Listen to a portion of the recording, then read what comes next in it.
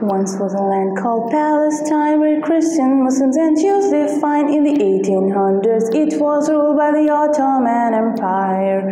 Meanwhile, a bearded guy founded Zionism for Jews to aspire, a land that becomes their home and safe only for their kind.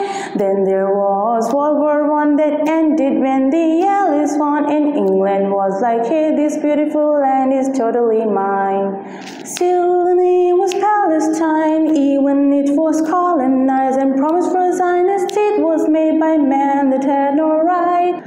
Then more and more Jews arrived seeking refuge, and that's alright until their plan to steal the land was no longer to hide.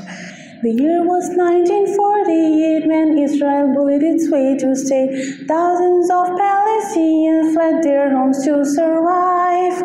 The right for a no right for a home, no right to fight for the land that they own. Israel expanding more and more into an appetite. Where is your humanity? Where's your respect for dignity? Call conflict forth insanity. It's time to change your mind. One day Palestine will be free, so be on the right side of history. You're not anti-Semitic if you stand against war crimes. Don't be brainwashed by the news, you can see yourself the truth.